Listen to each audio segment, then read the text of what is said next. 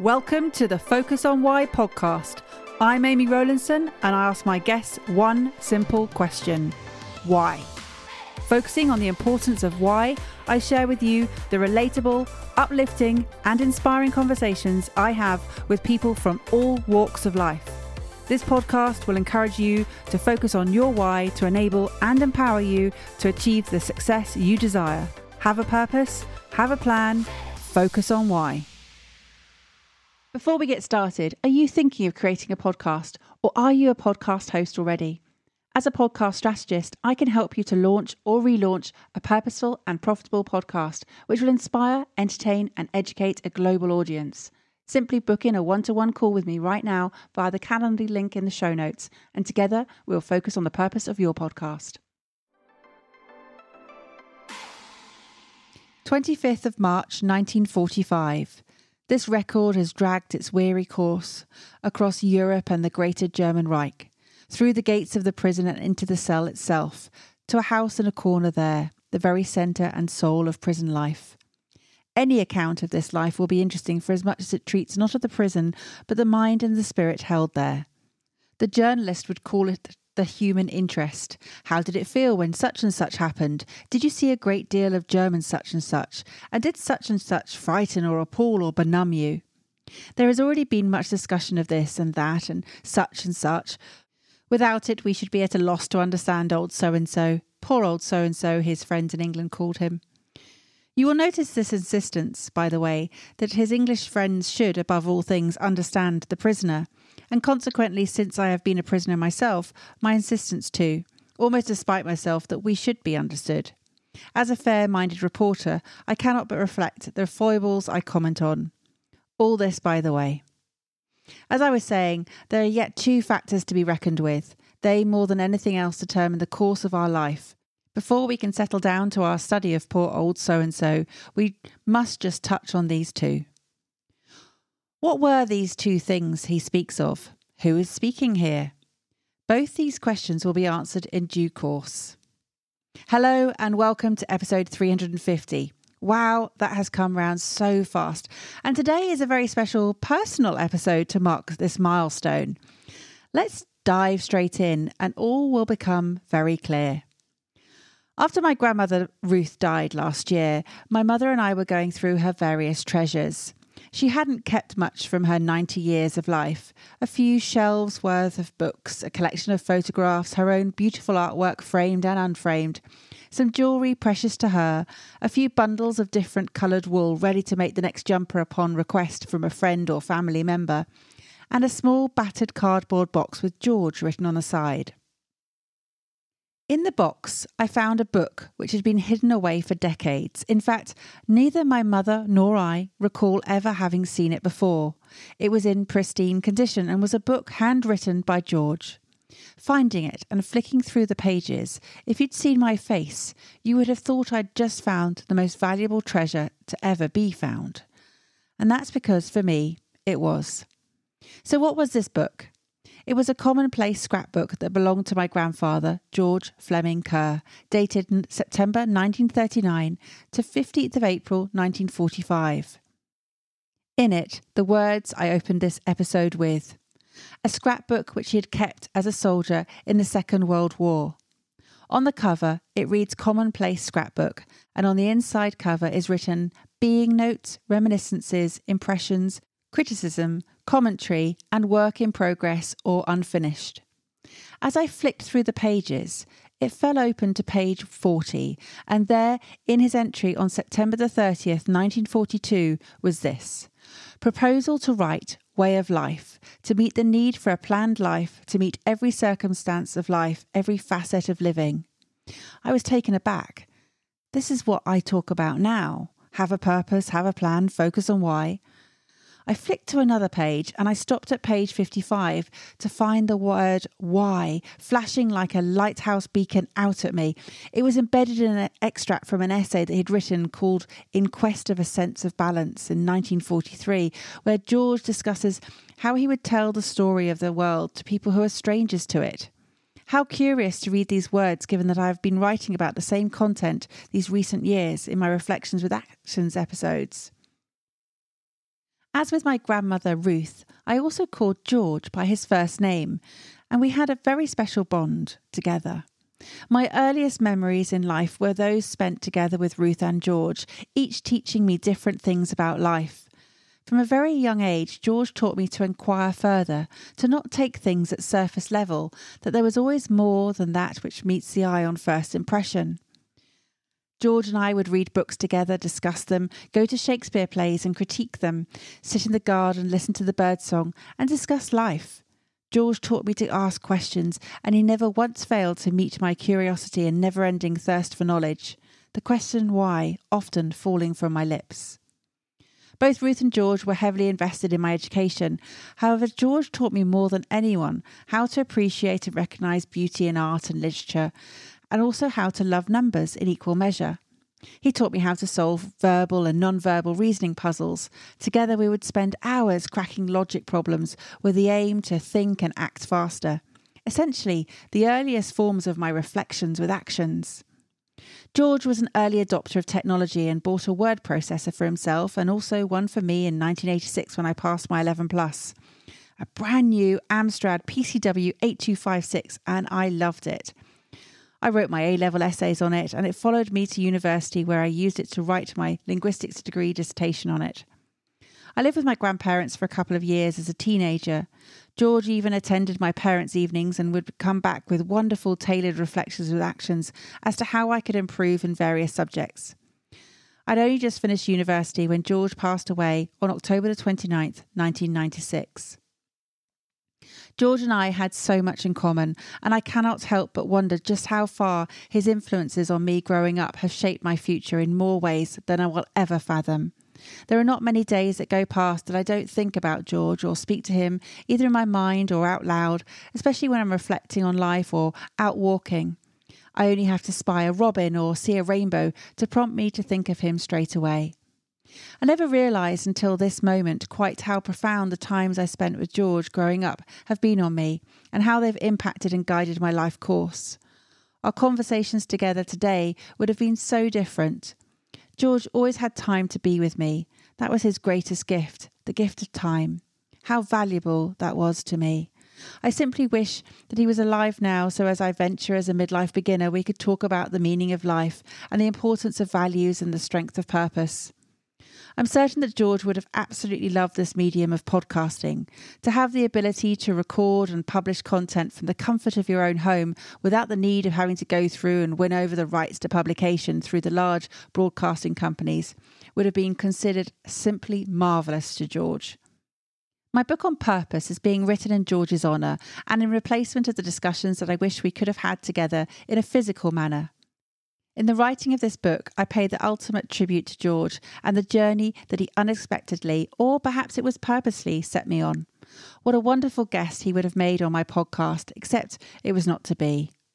Or was it? 33 years ago, I had the incredible foresight to make a short 17 minute recording asking my grandfather some of the questions that I would want and need the answers to in order for me to write a book about him later in life. In April this year, in fact, on his birthday, I found this recording of me, aged 15, interviewing him about his experiences as a prisoner of war. It would appear that I have been a podcaster far longer than I realised. I cannot describe to you what it was like to hear my grandfather's voice uh, again after all these years, and to hear my grandmother too. I believe that this is the universe truly conspiring to help me p- to put together this book on the topic of purpose. I would love to share with you a couple of excerpts from the interview. As you can imagine, being from a small dictaphone tape recording over 30 years ago, the quality is not great. I was not intending at the time to use it as content in my podcast 33 years later in the future. So please bear with the quality and simply picture a 15 year old me speaking with my 72 year old grandfather. We're sitting in his lounge in Stratford Avon, and my grandmother is listening in whilst chopping vegetables for our dinner. You were a prisoner of war for five years in in Germany. Yes. Yes. And how has that affected you and your attitudes towards Germans? I came out feeling pretty tolerant, really, because I think a prisoner of war is a fairly balanced character. How old were you? About 20. So you were very young. You weren't quite sure what was going on. No, not at all. I mean, at 20, do you know anything? No, not a lot. A lot. But you play it by ear. Okay, going back to your prison days, Yes. how were you treated? Were you treated badly or Well, what happened? Well, we, we never knew what was going to happen because the Germans were a mad lot. Yes. And they tended to take hostages. They tended to do sudden purges and shoot people. They ten- tended to parade you at three in the morning and you wondered why. Then they marched you off to another place altogether, a barn, and put you in it. You didn't know you were going to be shot there. In fact, it was retaliation for something we allegedly had done to German prisoners in the Jersey and Channel Islands.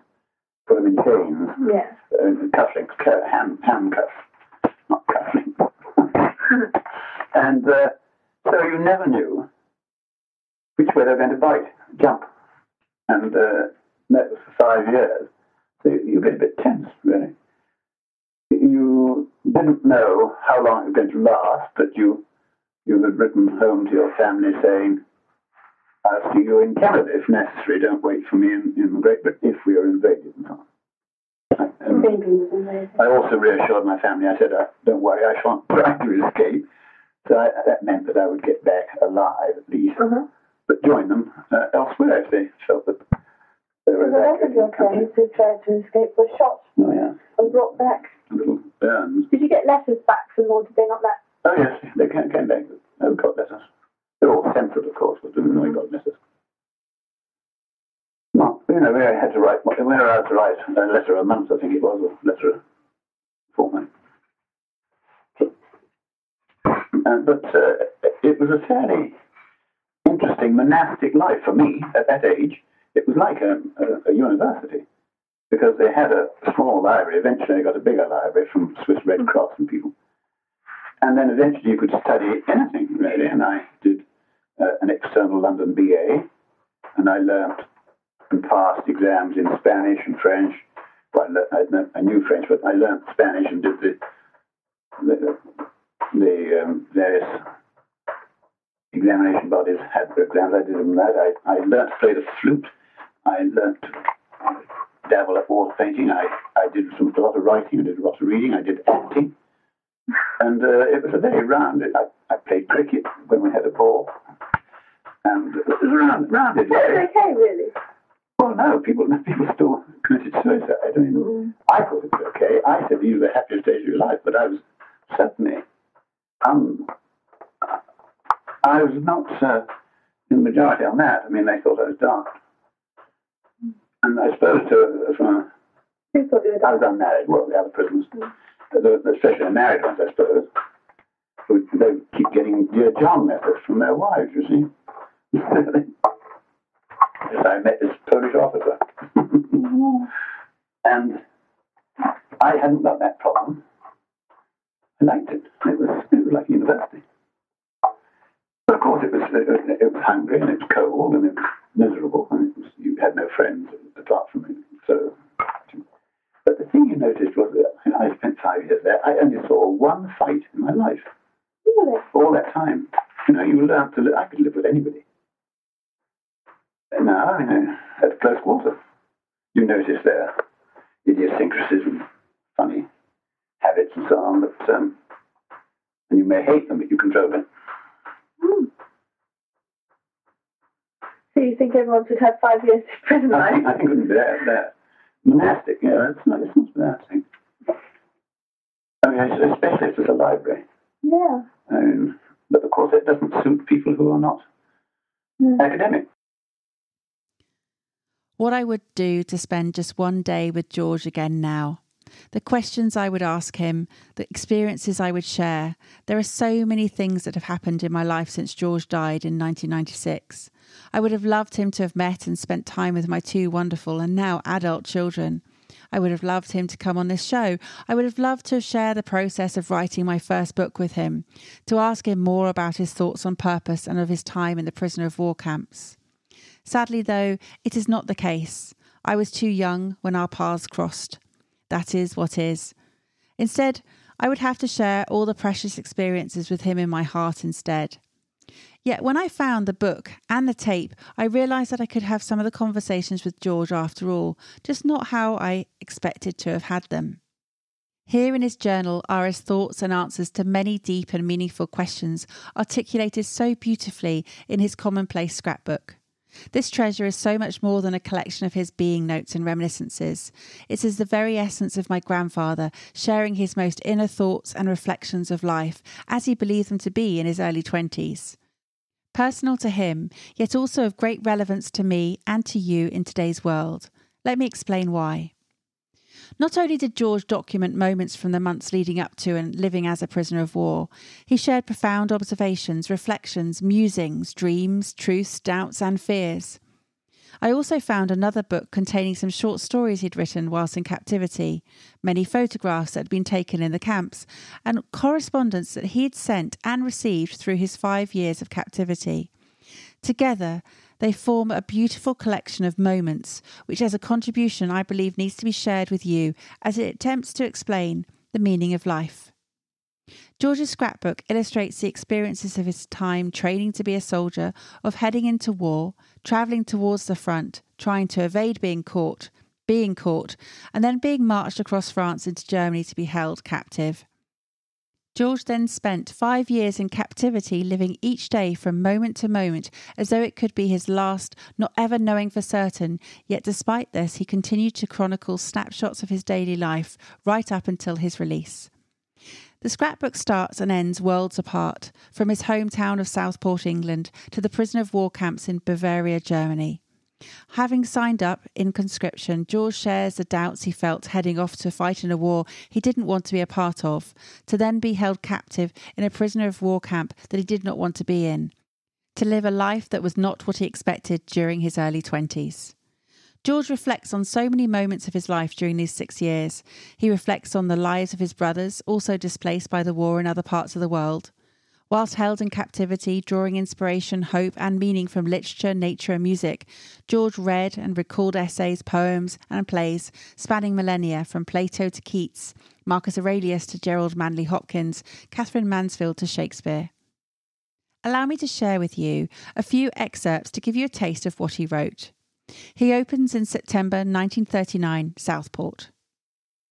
I sit in my stuffy little office and listen to John's portable.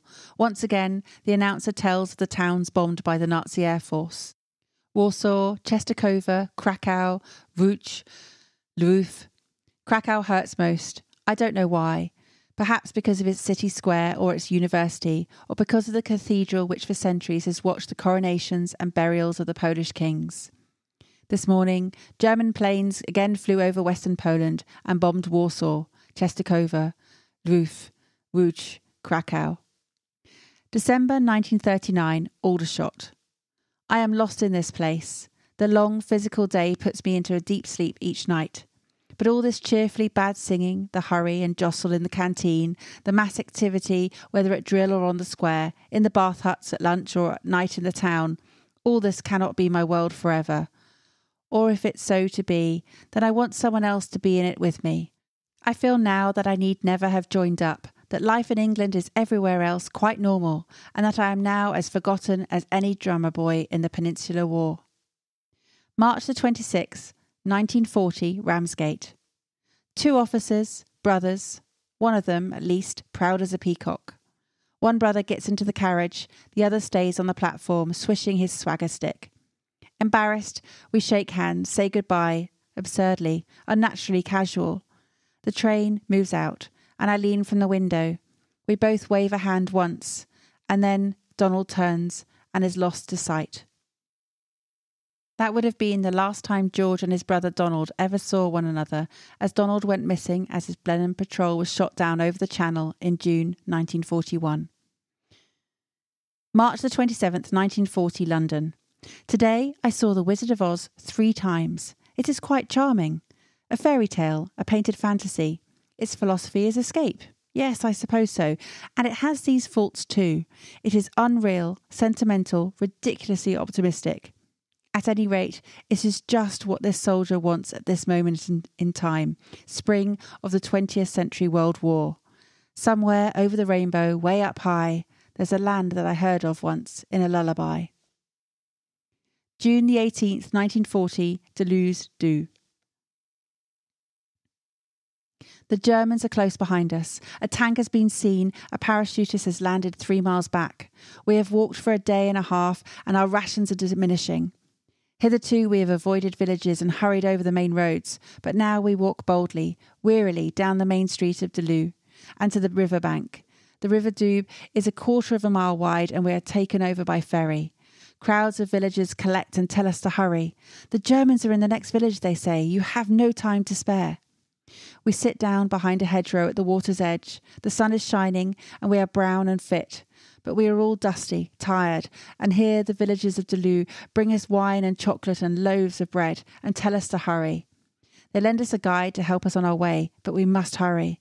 A German is in the village now, they say, buying provisions. Drink your wine, finish your bread, and go, they say. It is the sweetest drink we have ever taken. We rise to our feet again. It has given us new life. Deluz has given us new life. June the 20th, 1940, Besançon. We were captured at nine o'clock in the morning. At one o'clock on the next day, we lay down wearily in the dew, in the arena of a stadium at Besançon. The Germans had marched us for 16 hours with brief rests every two hours. We have covered 58 kilometres. My feet were torn and blistered, and we were all weak with hunger.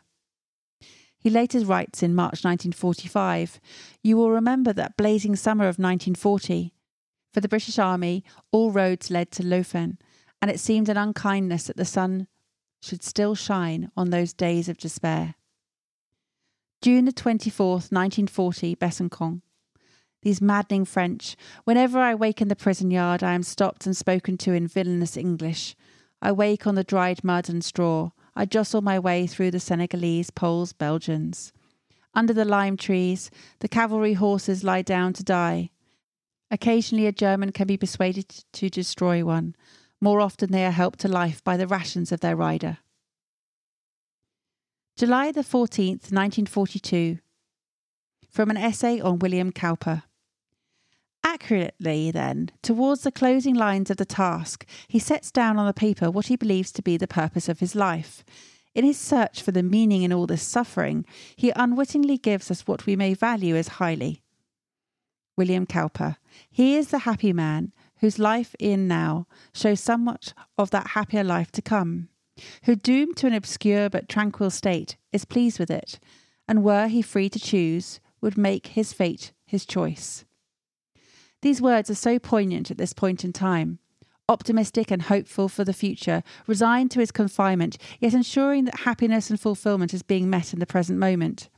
At peace with existence and making the most of what he has, not what he doesn't have. Reflecting on George's legacy and the impact his story would have had on others at the time and for generations to come, I'm a little bemused as to why he chronicled his way of life as a prisoner of war in so much detail, yet didn't share it or publish it on his release. However, I suspect that this was not unusual. Speaking to friends, family, members, in fact, novelist Damien Lewis and specialist war conflict archaeologist Dr. Gilly Carr, many people of this time in history remained quiet about their experiences of the war, preferring to put that period of their lives behind them, allowing others who could and were willing to speak of it publicly. A question you may be pondering, and one I repeatedly ask myself, is why, as a professional television and radio playwright and published author, did George never publish this particular piece of work? Either in its original format or as part of a greater piece? Well, the truth is, he did, and he didn't. He used his journal as source material for a play called A Month of Sundays that was screened several times on the BBC in 1952. There are many glimpses of George's insights from his journal to be found in this play. His own thoughts are represented through the behaviour and words spoken by several characters. One character kept a diary reporting daily events and people's idiosyncrasies. George even uses his own prison number for one of the characters. The various emotions felt across the years as a prisoner are also represented melancholy, depression, hope, guilt, desire, fairness, equality, and death. And he speaks of how trust had to be earned over time, especially when new soldiers were introduced to the camp, just in case they were planted German spies.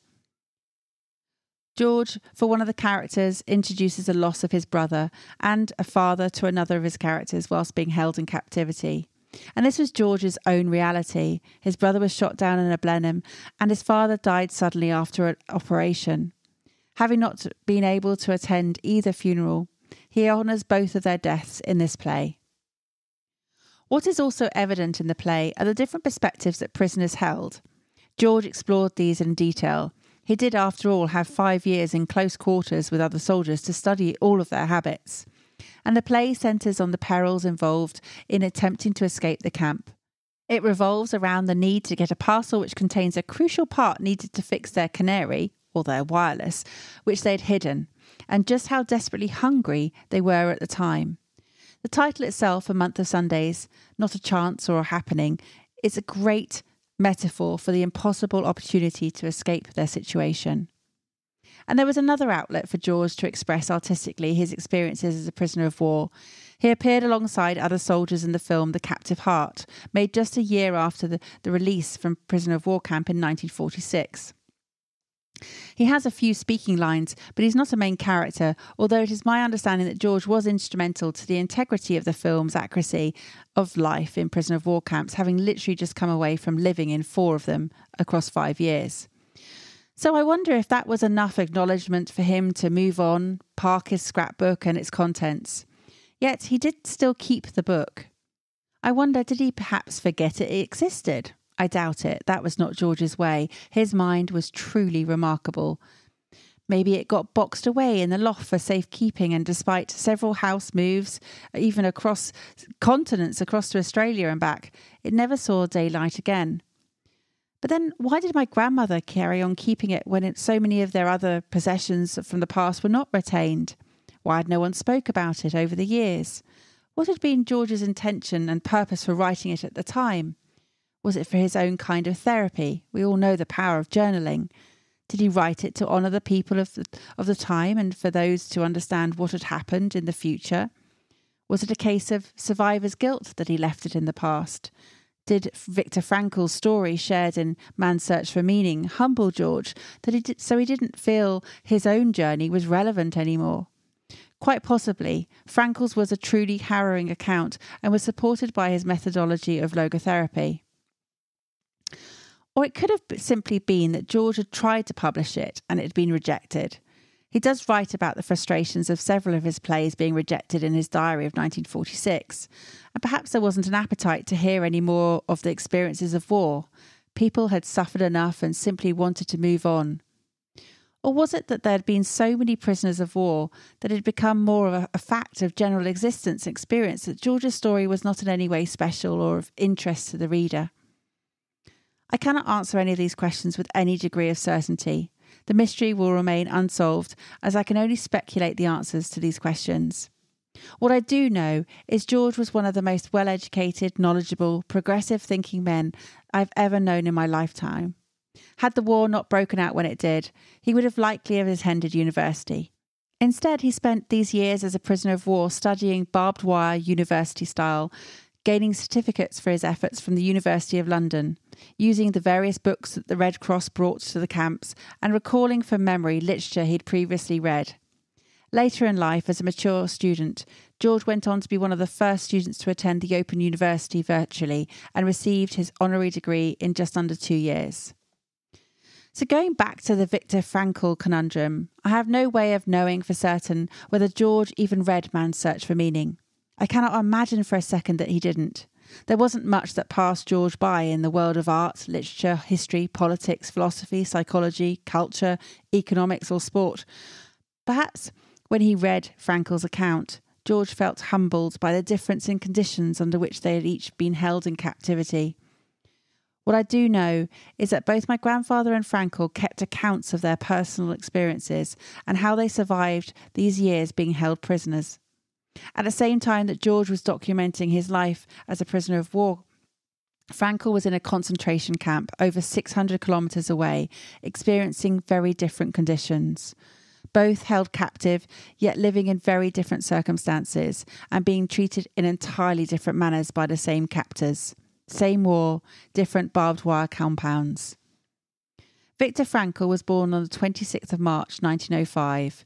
George Kerr was born on the 15th of April 1918. That made Frankl 34 and George only 21 when the war broke out and their lives were pretty much turned upside down. Frankl had studied at the University of Vienna, where he focused on psychiatry and neurology.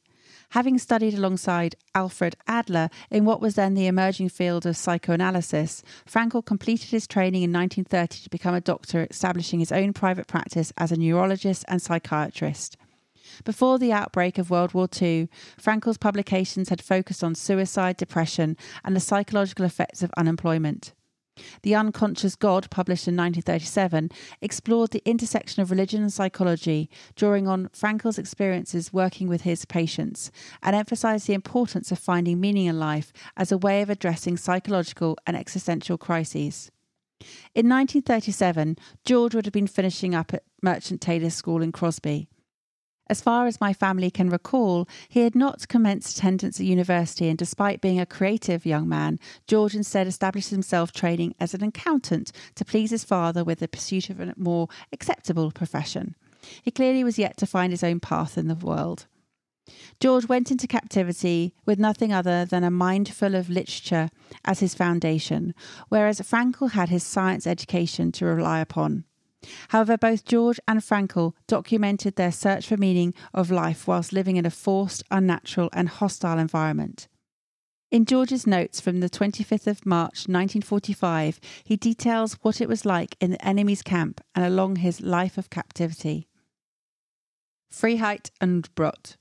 If the slogan of the Völkischer Beobachter meant anything, it meant that the people had so much bread that with any luck they would not notice their lack of freedom. This subtlety was lost on us, for our ration was inadequate, and we could hardly fail to notice the shades of our prison house. And so freedom and bread were spurs for us, as for the Parteigenosse. Freiheit and Brot were the two great factors that determined the course of our day. Our prison existence was a long struggle for both. But whereas we became reconciled to the loss of freedom, we could never in all that term effect a compromise with hunger. We were undernourished throughout, and we could not put the thought aside. Food became an obsession with us, the one thing in those cynical days that we never doubted or debunked. I wonder if after publication of Man's Search for Meaning, George compared his purpose focused experiences to Frankl's. If he did, George never spoke of it. In fact, he spoke very little of his time in the prisoner of war camp, other than to share a couple of stories with me about being captured, about writing his plays, learning to play the flute, and acting as Horatio in the production of Hamlet in 1941 alongside RSC actor Michael Goodliffe.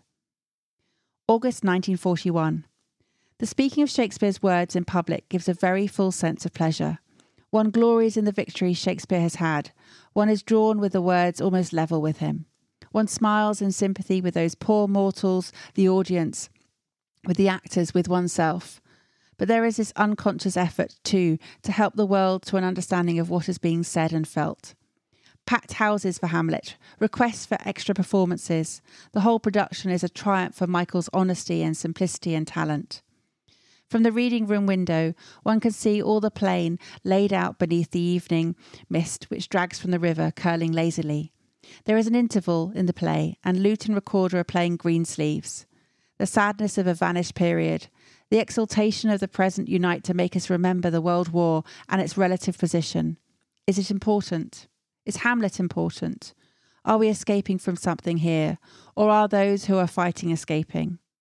How remote the war is. After release, George very much left that chapter of his life behind him and instead focused on moving forward, he always held such a positive spin on life, stating that the future would be lovely and that the world would achieve sanity. George was a stoic, a pacifist, a humanist, an atheist, a philosopher, a vegetarian, a realist, and an existentialist. Together, we discussed existentialism, particularly in relation to Albert Camus' work Le L'Étranger, as I studied it for my French A level. The more I reflect on it, George understood how to live with purpose right up to the day he died, as he continued to write with passion daily. He played brilliant, competitive rounds of golf and always made full use of his time on earth, ensuring that every moment of his time was time well spent. This was time spent with family, with friends, and his fellow old goats, as he called them on the golf course. Just like Frankl, George believed that each individual forms their own meaning of life, that the question of their why is one that is to be found within themselves. Life experiences, conditions, circumstances, the relationships all come together to shape our thoughts, beliefs, and values. Frankl believed that life tests us and that we have the choice in how we respond. This is reflection with action. I choose to help people to build their life of purpose, to create it. The purpose we each choose is our individual responsibility. Purpose is an intrinsic motivation. George's scrapbook has inspired the next chapter of my journey. He wrote on the 25th of March, 1945 Such was the past which these places could remember, a past of which little evidence was left in the valley along the plain. Now and for five years, the Kriegsgefangenenlager was to stand there, a building we were to regard as our home. Doubtless it too would contribute to something to history, but a later chronicler must speak of this. Doubtless by then the camps would have disappeared, but the rivers would be running yet, and the blizzard blowing at Dossel. Let us go in then, out of the blizzard. Let us look at some of these prison camps. Here I am, that future chronicler, 78 years on, and I will be sharing more of George's experiences in the book.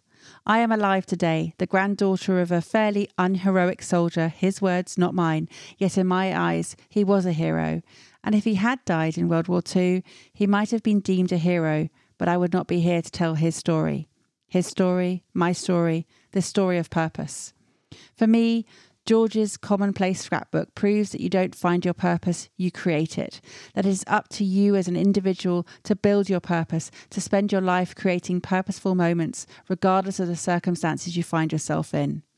I will never know why George didn't share his diary while he was alive. However, I do believe that I was meant to find it, that I found it at the time that was right, when I would understand its purpose. My book writing continues with the help of my grandfather's scrapbook, and together it will become our combined legacy for generations to come who are to create their own lives with purpose. How has this conversation had an impact on you? What value have you received from tuning in? What are your reflections with actions? Please take a moment to leave me an Apple Podcast or Spotify review sharing how Focus on Why has made a difference to you today. Remember, the conversation doesn't end here. To keep it going, simply connect with me on LinkedIn, Instagram, Facebook, or Twitter, or join the Focus on Why Facebook group. All the links are in the show notes. Have a purpose, have a plan, focus on why.